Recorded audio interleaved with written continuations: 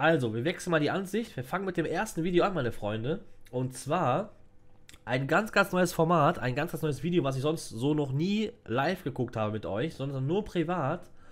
Und zwar haben wir hier vom guten, wo haben wir ihn?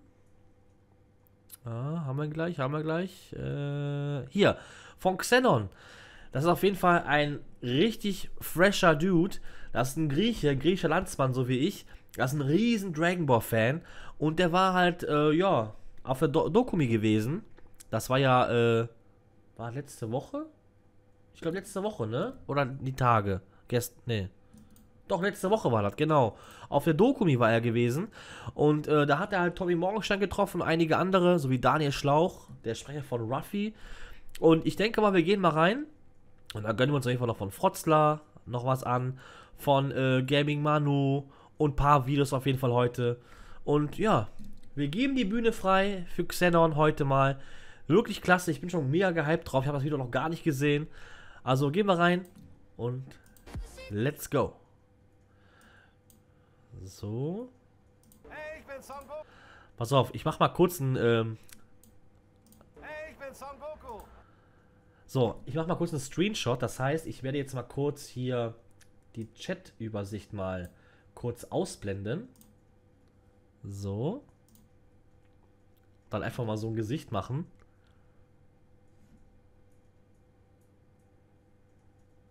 So, das war's. So, warte, warte mal. Mal ein bisschen was kleiner. Hey, ich bin Son Goku. Schöne Grüße. Ich bin mit Xenos hier. Gut. Gut, jetzt, jetzt habe ich schon mal ein paar Aufnahmen für den Screenshot. jetzt machen wir noch den Chat nochmal an. Und euch allen ganz viel Spaß. Hey, ich bin Son Goku. Schöne Grüße. Ich bin mit Xenos hier. Ich bin gespannt. Was geht ab, meine Friends? Heute hier auf der Dokumi, um ein paar arbeitslose TikToker mir reinzuziehen und ein Der war gut. paar Sexualstraftäter von TikTok, die Was? hier unterwegs sein sollen. Wo ist Luisa? Wo ist Luisa? Hier ist heraus.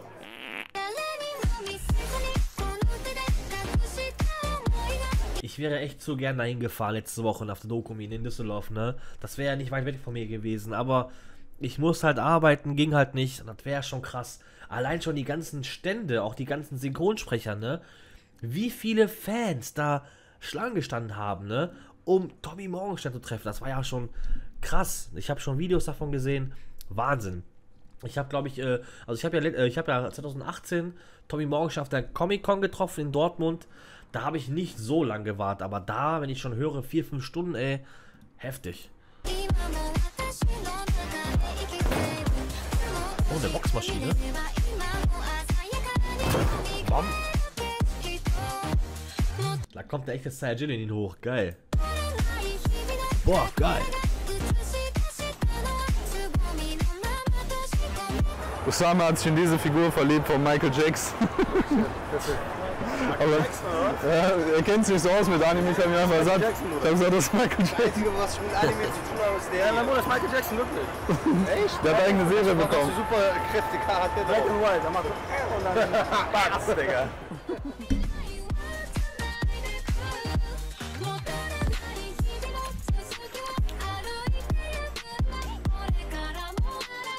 Ja, die ganzen Synchronsprecher, aber auch gerade Daniel Schlauch.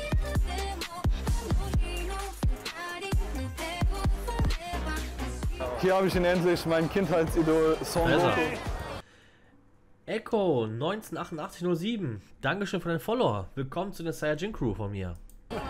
Tommy Morgenstern hier. Hallo. Hey, ich bin Son Goku. Schöne Grüße. Ich bin mit Xenos hier. Ciao. Dankeschön. Na klar, Mann. Danke Bis dir. dann. Nice. War ein saftiges. Ach so.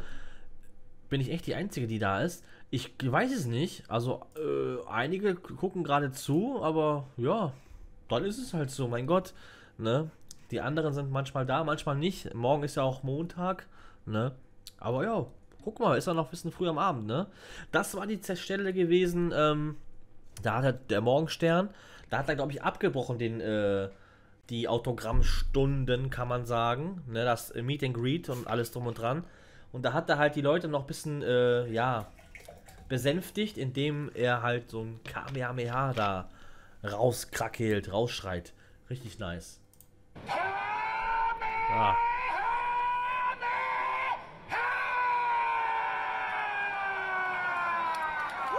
Also ich muss sagen, nicht so gut, wie es damals war. Es ist zwar auch geil, klar, man hört die Stimme noch von Tommy Morgenstern von Son Goku, aber man merkt nach so vielen Jahren, wo er ihn gesprochen hat, auch das Schreien, das hört irgendwann richtig auf, ne?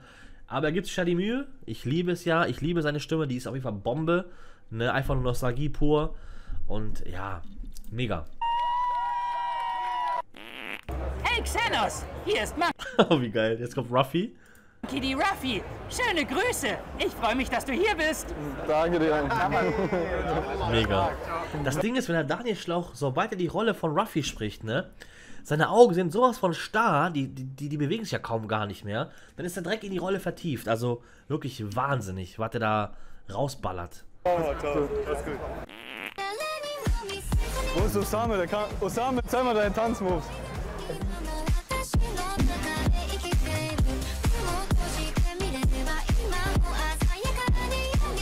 Hier so ein bisschen Benzin reinspritzen.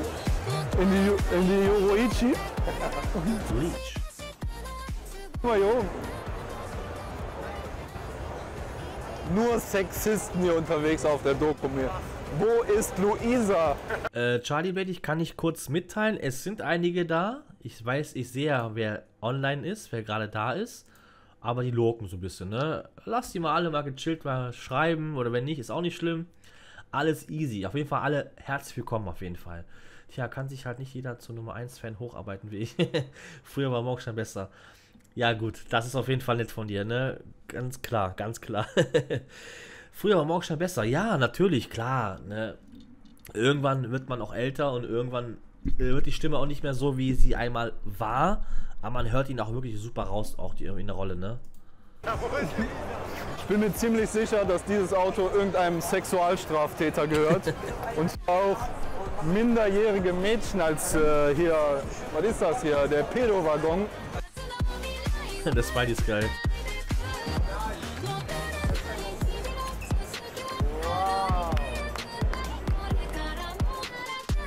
Ach, das soll Sanji sein, ne?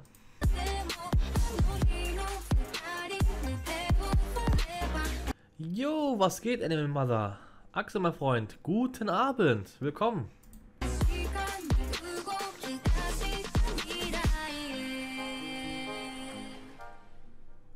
Wollte da mal mitmachen, damit ich ein Video habe, so ein bisschen auf Ninja Warrior Ja. angelehnt. Ja. Und was sagst du hier? ja, ein bisschen anders als die Fibo. Was sind äh, mehr hier unterwegs? Mehr Männer, mehr Frauen oder mehr diverse Charaktere? diverse Charaktere. ja, aber mehr auf jeden Fall. Ich liebe einfach nur Xenos, ne? Also der Xenon, der ist einfach sowas von direkt, der nimmt keinen Platz vor dem Mund. Ich mag das einfach ohne Ende. Der ist einfach sehr offen, der, der sagt, was er denkt, das ist schon klasse. Tag Gig, mein Freund, was geht? Guten Abend. Willkommen. Wie geht's dir? Da gab es nicht so viel divers. Ich, ich finde, viele haben dieses äh, Dingskostüm, habe ich nicht oft gesehen. Dieses Haushälterin. Ja, hier hinter dir auch wieder so. Richtig viele, ja.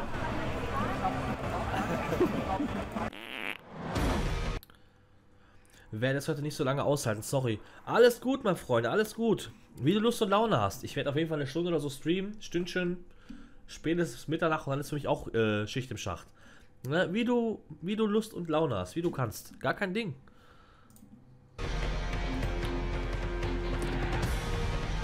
Oh, jetzt ist er wieder in Action am Start. Wieder am Action. Ja, da machen. Also ich muss sagen, sportlich ist er, ne? Ziehst um, Toni? Ja, ähm, ist schon länger in Planung, ne? Aber ich wohne zurzeit bei meiner Freundin seit knapp einem Monat. Jetzt ist, äh, ja, morgen Stichtag. Morgen ziehe ich dann ins Haus ein bei meinen Eltern. Und ja, wie gesagt, habe ich ja schon eben erzählt, ich werde morgen alles einrichten, alles rüberfahren, dies, das und jenes. Je nachdem, wie ich fit bin, wie ich drauf bin, wie alles eingerichtet ist, werde ich dann morgen streamen, wenn ich dann erst in den nächsten Tagen, sonst erst nächsten Sonntag, also in einer Woche. Ich guck mal, wie es bei mir passt. Ne? Das schreibe ich auch im Server auch rein. Gut, Bro. Oh.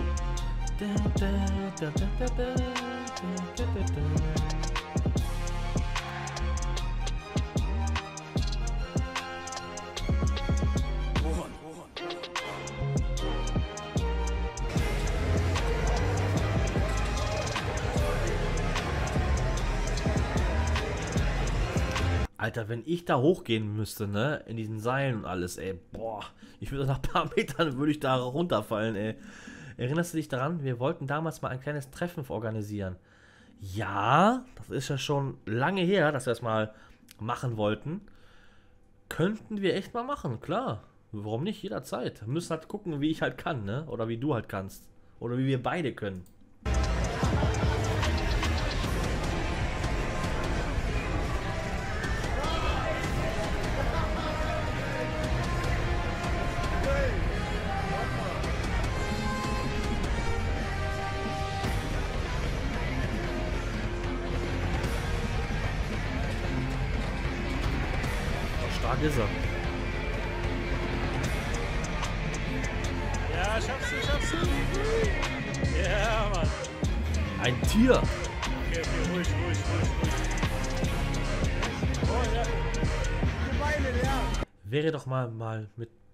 Aus der Community abhängen, essen, trinken, reden. Ja, das wäre nicht schlecht. Das wäre nicht schlecht. Also ich habe es auf jeden Fall ja schon einige Wochen angesagt. Das werde ich aber so Anfang August so ein bisschen langsam, langsam teasern. Ich werde ja bald ein äh, YouTube-Treffen machen, ein YouTube-Community-Treffen, weil ich ja auf der Gamescom dann bald fahre. Das ist der Samstag und der Sonntag. Das ist auf jeden Fall äh, Stichtag auf jeden Fall. Und dann werde ich auch Zeiten machen und schreiben, wann, wann man sich treffen könnte, wann man mich treffen möchte. Das kommt alles mit der Zeit. Das wäre eigentlich die ideale Gelegenheit, mich zu sehen. Also einige kommen auf jeden Fall am Start, das weiß ich jetzt schon. Mit den Beinen, mit den Beinen Oh, schwingen, schwingen. Wer macht die Disco Mach so den hier. Wer macht die Disco Ich wollte gerade sagen, der macht eine Disco Fox. Nee, Disco Kugel. Oh, der blutet gerade. Oh, wie? Hast du geschnitten oder was? Brudi, was sagst du dazu, dass wir jetzt im Hentai-Club sind? Ich weiß gar nicht, was mich erwartet. ne? Äh, wir sind echt tief gesunken. Früher haben wir selber Pornos gedreht. Und heutzutage gucken wir uns Animationspornos an. Vielleicht kann man sich ja was abgucken. Ne? Aber auf jeden Fall, die Nachfrage ist ja sehr hoch. Wie man sehen kann, sehr viele Perverslinge hier auf der Messe.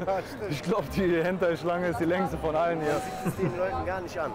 Komm, und jetzt drängeln wir uns vor. Hier stellen wir uns garantiert nicht an bei den Perverslingen. Heavy. Habe ich es euch nicht schon prophezeit? In meinem Interview habe ich gesagt, die Anime-Messe sind um einiges dreckiger und versauter als jede Erotikmesse. Guck mal da, Was? einfach auf der Bühne vor allen Leuten Was? wird sie gefesselt, Krass. einfach am Hängen. Ist die da am Hängen? Krass. Alter. Wow. Okay. Unwichtiger Nebencharakter. Das ist doch, glaube ich, äh, meistens immer dieser Typ, der bei Det- Detektiv Conan irgendwie, ne, den äh, Ver Verbrecher macht, ne? Den Schurken. Der ist immer auch immer schwarz. Keine Ahnung. Left 4 Dead. Eigentlich wollten wir hier ein paar Figuren kaufen auf der Anime-Messe, aber seit der Sina ein bisschen Promo gemacht hat, werden nur noch Dildos verkauft. Was? Die Nachfrage ist höher denn je. Alle Alter, kann nicht wahr sein. Unfassbar. gönnen sich.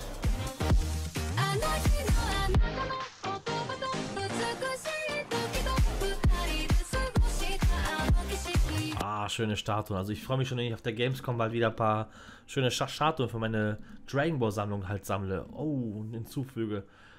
Ach so, Sound und Ton sind optimal. Super, danke dir. Hab total vergessen, dich zu fragen, Charlie Blade. Oh, wir. Ja, danke ich dir auf jeden Fall. Super. Cool. Das ist immer unser, ja, unser Codewort, ne? Unser Soundcheck, den wir immer machen. Eigentlich fast jeden Stream. Sehr gut. Bin ich im Urlaub oder so? Ich habe gestern schon nach dir gefragt. Ja, gestern waren wir in Barcelona, aber Gestern nur spontan. Barcelona, Digga.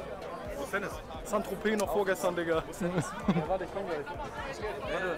Ja, warte, kurz noch warten. Wir gehen gleich in den Hentai-Bereich erstmal. Gut, selber. Ja, muss. Bist schon lange hier, ne? Wann waren wir hier? Kurz nach äh, halb zehn, zehn so. Okay. Und, war gut? Das Übliche. Eine Runde. bleiben oder? Ich glaube, gleich starten wir so langsam, weil die Jungs haben auch was vor. Ja. Du bleibst bis Ende? Geholt? Ja, ich bin, ich bin gerade erst gekommen. Oh. Schon haben wir erst Fan-Treffen und dann überlegen wir noch um 18 Uhr was. Was ist das für ein Video? Das ist ein Video über den äh, Xenon. Das ist ein, ja, ein riesen Dragon Ball Fan und der hat halt auch sehr viele Figuren bei sich zu Hause. Seit Jahren sammelt der halt sowas. Und der war halt auf der Dokumi letzte Woche, ne? Das wollte ich mir auf jeden Fall angucken mit euch. Das war eine Art Vlog, was er alles gemacht hat, ne? Das ist auf jeden Fall mein erstes Video, was ich live über ihn reagiere und das habe ich schon länger vorgehabt, ihn mal live zu zeigen und das ist heute auf jeden Fall, ja, auf jeden Fall Fakt, dass ich ihn reinziehe mit euch, ne? vorne zu machen, japanischen Garten oder so. Hast du eine Figur? Nur so geguckt, aber war jetzt nichts Besonderes da. Du? Noch nicht, noch nicht. Aber ich glaube morgen. Morgen ja. guck ich mal ein bisschen rum. Ja, sind noch ein paar andere Jungs. Noch ein bisschen hier? Ein paar Minuten noch ein bisschen. Ja, okay, alles klar. Dann bis hier? Oh, Ruffy. Geil. Mega cool. Legende, Alter. Von YouTube, Alter. Wow, wow, wow, wow. Ich weiß nicht, so 50-50 momentan, weil ich habe ja auch noch ein Restaurant in Wuppertal. Ja, ja. Und äh, ich Das weiß ich, das hat er mir auch damals mal erzählt gehabt. Ich habe vor mit ihm vor, ah, wie lange ist das her? Ist schon was länger her, ich glaube vor zwei, drei Jahren oder so, mal geschrieben gehabt, auch privat, aber auch nicht viel, ein bisschen Smalltalk. Er hat ein Restaurant mit seinen Eltern, ne? Also wir haben da ein bisschen was gemeinsam. Ich arbeite auch in der Gastronomie, so wie er, ne? Habe das bei Lola und Tanzverbot kurz im Stream gesehen. Die waren beide da. Ah, okay, krass. Okay. Ruffy, ja, genau. Ich habe morgen sehr viele Reservierungen. Ich muss halt gucken, auch wegen Personal. Muss wieder zu Hause sein? Ja, weil ich war jetzt auch ein paar Ruffy. Tage in Barcelona. Ja, echt? War geil? Ja, war cool auf jeden Fall. Warst du schon mal in Barcelona? Nee, nee, gar nicht. Spanien gar nicht. Richtig viele Anime-Stores. Echt? Ja, gibt es eine komplette Meile nur mit Anime-Stores. Ich habe auf jeden Fall alles gefilmt, aber auch halt diese fetten Statuen, yeah, nicht nur die kleinen Figuren. Yeah. Und halt so richtig stylisch gemacht, die Läden. Schön mit äh, Fliesen, Marmor, dicke Vitrinen und so, nicht so diese deutschen Stores. du stehst ja in deutschen Store. ja. Aber ich, diese richtigen, so diese Flagship-Stores, die sind halt nicht so geil in Deutschland. Ja. Weil sie, jetzt so Online-Shops gibt es halt viele in Deutschland, ja, aber die. Pro schon, ne? ja, in Paris sind geile, so in Europa, in Barcelona sind geile. Du bist, du bist da, du fliegst halt in ein anderes Land, um Figuren zu holen, dann gehst ja. du zurück gehe halt überall abchecken. Aber ey. Morgen bist du auf jeden Fall hier. Ich bin morgen noch hier, ja, ja. Ich guck spontan, vielleicht kommen. geil. Ansonsten Wuppertal ist um die Ecke. ja, ja. Muss man nach Wuppertal kommen. Da muss ich mal gucken. Die Figurensammlung abchecken. Komm, wir gucken, Digga. Machen wir. Ciao, ne, mach's gut. Nice. Auch eine geile Kombination, ne? Ruffy, der YouTuber, mit Xenon. ist schon stark. Aber sag ja, der ist nicht, äh, der ist auch schon gut bekannt. Also von den Zuschauern, die er halt von ihm einmal sehr gerne angucken. Also der ist auch begehrt. Der war ja auch ein paar Mal im Fernsehen gewesen, auch in so ja Dokumentationen, wo er halt ähm, ja seine ganzen Dragon Ball Figuren gezeigt hat. Da bin ich damals ja äh, auf ihn aufmerksam geworden, wo ich halt äh, das im Fernsehen mal gesehen habe, bei RTL 2 oder wo war das? Irgendwo in der Art. Und dann, ja, habe ich ihn gegoogelt, bei YouTube gesucht. Und dann hat er auch einen kleinen YouTube-Kanal und der ist auch oft auf TikTok mittlerweile eher aktiv. Also richtig fresh.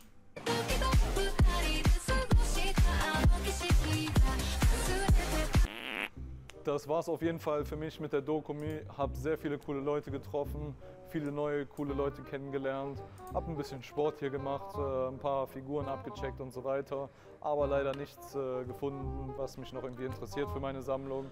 Außerdem habe ich sehr viele von meinen TikTok-Hatern äh, live gesehen die mir gedroht haben, dass sie mich auf der Messe hier attackieren möchten. das habe ich das Video, glaube ich, zum Teil gesehen, was er vor einer Woche, zwei rausgehauen hat, dass einige irgendwie total über ihn herfallen wollten oder so. Er hat auch viel Real Talk geredet und so weiter. Das Video kann ich euch mal, mal zeigen später oder mal den Link dazu geben oder mal, ihr müsst mal selber mal reingehen am besten. Jo, André, was geht? Guten Abend, willkommen. Xenon ist doch auch. Boah, geil! Boah, geil, genau. Xenon ist auch richtig geil. Seine Dragon Ball Sammlung mit den riesen Figuren ist Legende und ein Vermögen wert. Also sich von Tausende von Euro. Also ich will nicht wissen, was er alles da ausgegeben hat, ey. Heavy. 20, 30 Leuten, aber dies war nicht der Fall. Ich hatte sogar Blickkontakt mit diesen Leuten, aber jeder von denen hat äh, weggeguckt oder hat einen großen Boden gemacht. Da sieht man mal wieder, nur im Internet bellen die Hunde und nicht im Real Life. Alles nur Fassade, alles nur kleine TikTok-Gangster. Meine abschließenden Worte, die Messe war cool, war gelungen, auf jeden Fall etwas größer als die letzten Jahre gab sehr viele Hallen und äh, ich habe gehört, irgendwie 56.000 Tickets wurden verkauft. Boah, das ist aber eine Menge. Äh, jeweils für jeden Tag, also morgen auch nochmal. Und äh, morgen schaue ich mal spontan, ob ich es schaffe, hier hinzukommen. Wahrscheinlich war heute mein Tag, diese paar Stündchen hier. Ich habe genug gesehen, ich habe genug Material mitgenommen. Ja. Und in diesem Sinne, viel Spaß, meine Freunde. Bis demnächst, euer Xenos. Das Beste of von seinen Highlights. Schöne Cosplays auf jeden Fall.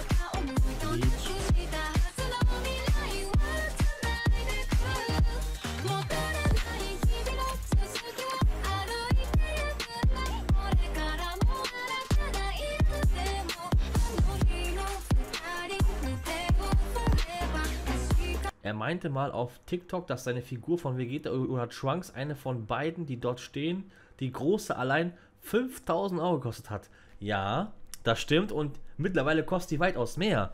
Das ist auch, äh, die wurden nicht so oft produziert auf der Welt, ne? Und er hat davon zwei. Einmal Son Goku, Vegeta und Trunks, glaube ich, ne? Heavy, heavy, heavy.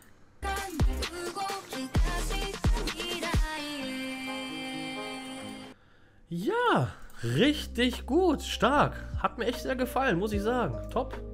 So, wir posten mal den Link vom Xenos mal rein.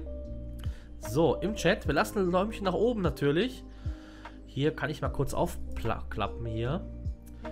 Instagram machen wir gleich. Ähm, ich hau mal kurz einen Kommi raus, ne? Für den begehrten Algi. Ihr wisst Bescheid, ne? Machen wir ja immer. Meinen Senf dazugeben. So.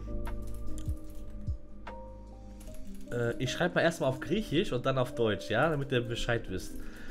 Macht man halt so.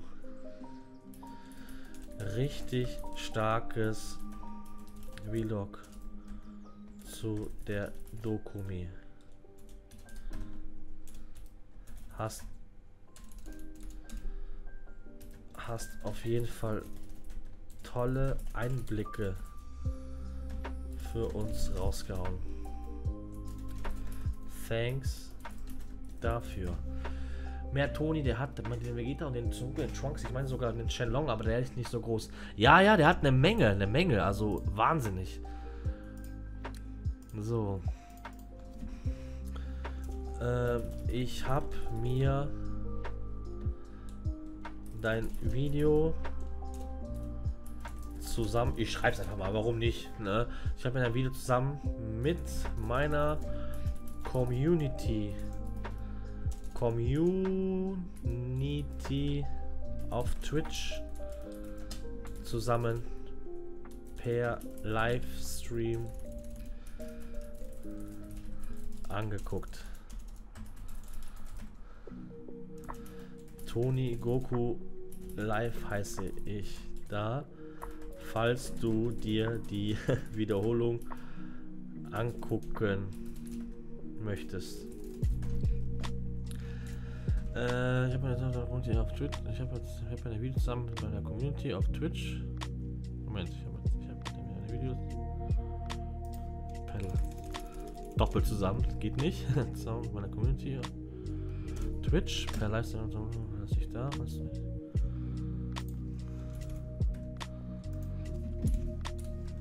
Schau gerne mal